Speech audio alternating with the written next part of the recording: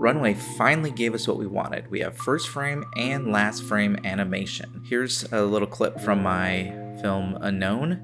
And as you see, there's a first frame and the, the last frame.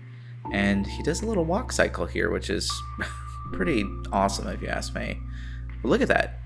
Character motion. Oh, and then he moonwalks back a little bit, but pretty consistent. Um, and let me clean it up here just a little bit. Look, put some posterized time effect on there. We are good. Now I want to try this one where the character turns around. So the first frame is still looking one way, the second frame is another still looking the other.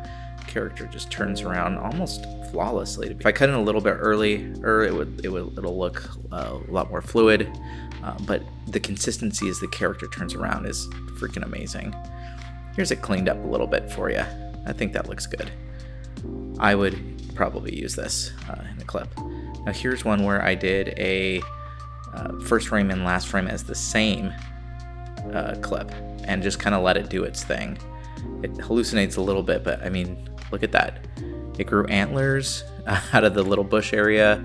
Um, his arm came through the statue a little bit, but this is without any direction from me. I just put the image uh, in twice. Uh, let's watch it one more time.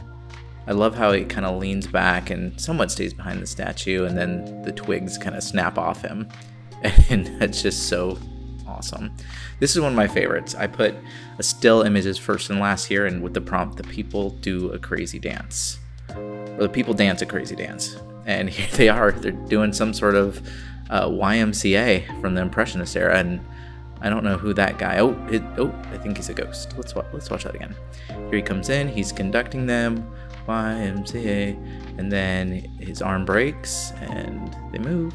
Uh, either way, it's a really funny one, but this is my favorite. I think they're all doing like some sort of line dance. Um, love the runway dance arm movement. It looks very similar to uh, my aunt, who's a choreographer's choreography. I love the little pink smoke there. Uh, look at these guys, they're just getting down. I could watch this all day long. Well, this is just a quick preview of the first frame, last frame, new capabilities in Gen 3 Alpha Turbo.